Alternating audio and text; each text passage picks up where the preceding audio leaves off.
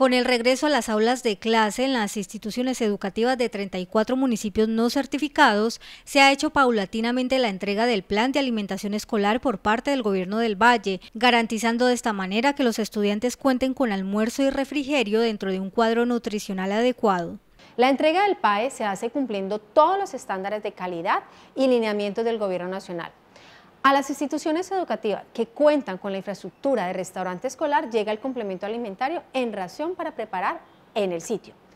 Y en otras sedes que no se cuenta con esta infraestructura, seguiremos entregando a los estudiantes el paquete industrializado. De este modo se espera llegar a 119 mil estudiantes inscritos en la matrícula oficial dentro del departamento, permitiéndoles contar con este apoyo nutricional. Vemos que ellos eh, ya trabajan pues un poquito con su estomaguito lleno, les da vigorosidad y el, el, ambiente y el proceso de trabajo pues ya lo hacen mejor.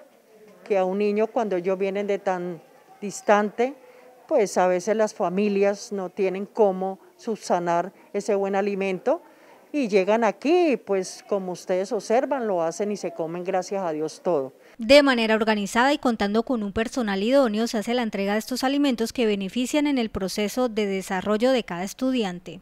A mí me gusta cuando me dan aquí las lentejas, las papitas, el arroz, los frijoles, el, mm, los las tajadas platanitas y también el arroz con leche. Me siento muy feliz porque ya llené mi estómago.